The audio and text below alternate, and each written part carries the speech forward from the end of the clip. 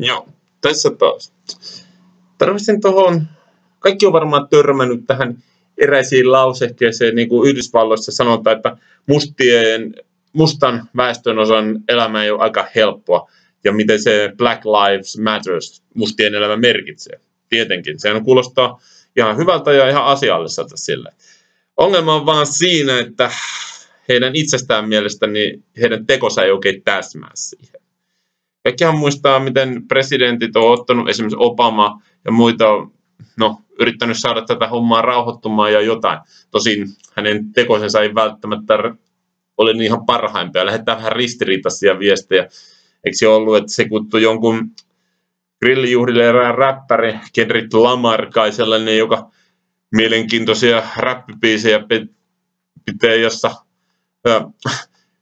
muuten, että ammutaan poliiseja ja muita vastaavia, pommitetaan katuja ja ase, aseita ja poliisin väkivaltaa ja muuta vastaavaa. Että tietenkin eihän tämä presidentti näitä tue, mutta se, että se kutsu tällaisen ihmisen tuonne valkoisen talon. Eh, ehkä mä vaan tajun, mä en ole ikinä tajunnut oikein räppiä, että mikä siinä on. Siinä on vähän sano, varsinkin sanotus tällaisessa, että väkivaltaa ja muuta ihannoidaan vähän liikaa, niin no, oma pahan on näkemyksensä, mutta ei se nyt välttämättä ihan kovin hyvin, koska se voi, ne jotka kuuntelee sitä räppiä ja ottaa vähän liikaa ää, vaikutteita, niin voi tulla ongelmaksi. Mutta no, minkäs tee?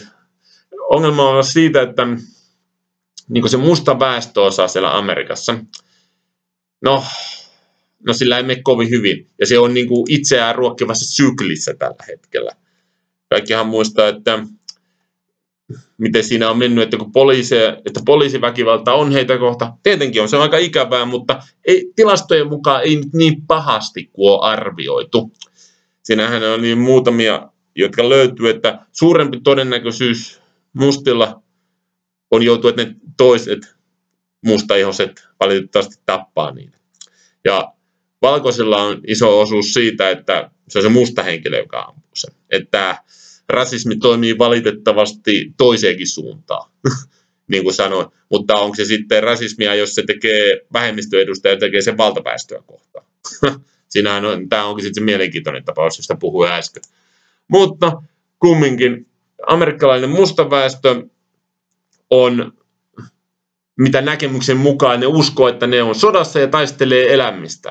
No, tavallaan ne on totta. Jokin niin kuin sitä musta Amerikkaa surmaa, niin kuin, mutta se ei ole poliisi. Ö, oliko se niin kuin, oliko se niin, 40, 2009-2012 niin kuin ainakin, että 40 mustaa miestä tapettiin mustien miehen toimesta jokaista poliisia kohden, joka surmattiin, tai po, joka, joka musta mistä poliisit surmattiin. Oliko se 2015 poliisi surmasi niin kuin 491 ihmistä, joista 132 oli mustia. Mutta tilastojen mukaan poliisi on suuremmalla todennäköisyydellä. Se ampuu valkoisen rikoksen tekijän kuin musta. Joten poliisien taholta niin on kohtalaisin turvassa niin sanotusti nämä mustat rikokset, jos tähän tilastoon on uskomista. Mutta ongelma on siinä, että kun niin kuin poliisit pelkää, että ne saa rasismisyyteeksi ja muuta, sehän on hirveä some ja muu vastaava stigma, joka voi tuhota elämän niiltä, joten, ne, joten poliisit on huomannut, ne välttelee niitä mustien asuinalueita ja muita. Ei, kuulostaa ihan hienolta, kunnes sä tajuut, että rikolliset alkaa siellä hallita ja ottaa valta-asemaan käsi. Väkivaltamonopoli täyttyy aina. Tyhjiö täyttyy, luonto kammoo sitä. Ja tästä tapauksessa otetaan jälleen kerran, jos ei ole niin kuin luontodokumentin mukaan, jos ei ole sitä isoa, öö, no, mitä hyönää tai leijonaa tai karhua, joka pitää siellä jöötä tai niin kuin on se ylinpeto, niin kaikki muut alkaa tapella keskenään, että ne sais niin kuin omaa valtaansa siellä reviirillä. Ja valitettavasti tämä on niin kuin surullisesti kyllä niin kuin tapahtunut. Että mustat on syytetään 62 prosenttia kaikista ryöstöistä, 57 prosenttia kaikista murhasta ja 47 prosentista kaikista ö, hyökkäyksistä ja muuta. Ja ja ne pitää vain 15 prosenttia väestöstä. Tämä on niin kuin tietynlainen, ei ole kansanmurha, vaan itse, itse, kansan itsemurha.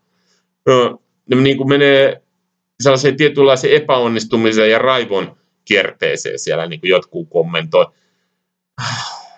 Ja ne sanoo, että siellä nyt yritetään, että teidän ei kannata nyt enää syyttää valtaväestöongelmista.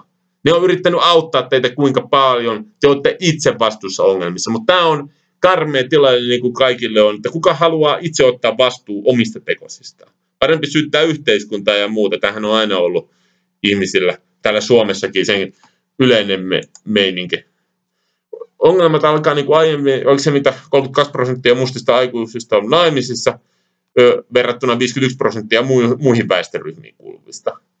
Ehkä myös ongelma on, niin kuin, että sopivia puolisoita ei löydy, niin kuin joku sanoi, että onko se 49 prosenttia college, onko se yliopistolukio koulutetusta mustista ö, naisista ö, saa niin kuin vastaavia miehiä verrattuna 84 prosenttia niin kuin val, college, niin kuin siellä koulutettuihin valkoisiin miehiin yhden tutkimuksen mukaan.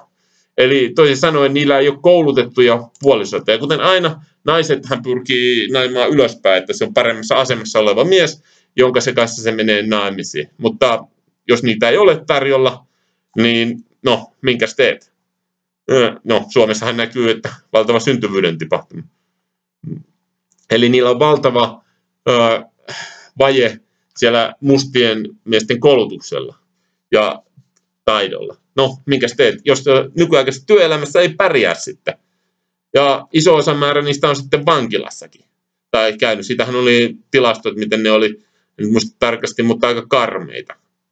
Että iso osa määrä niistä on ollut. Ja sitten vähemmän avioliittoja ja sitten valitettavasti yksinhuoltajia.